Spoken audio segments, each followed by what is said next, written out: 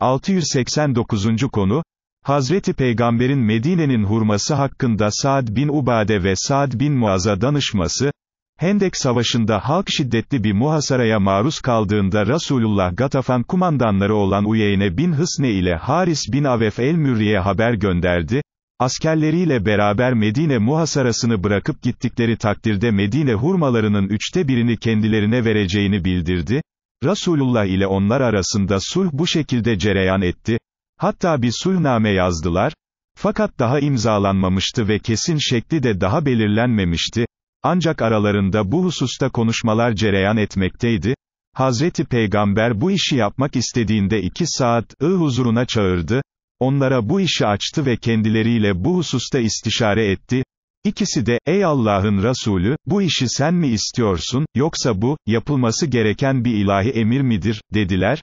Hazreti Peygamber, ben yapmak istiyorum. Bunun sebebi de Arapların hepsinin aynı istikametten ok atmakta olmalarıdır ve sizi her taraftan muhasaraya almalarıdır. Onların birliklerini bu suretle bir dereceye kadar kırmak istedim, buyurdu.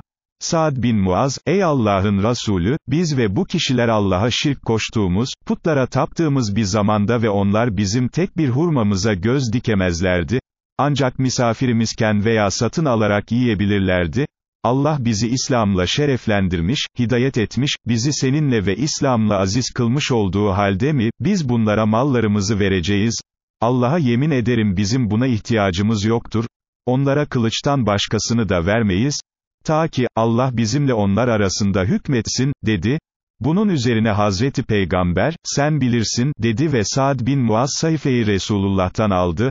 Oradaki yazıları silerek, onlar, bize yapmak istediklerini yapsınlar, dedi.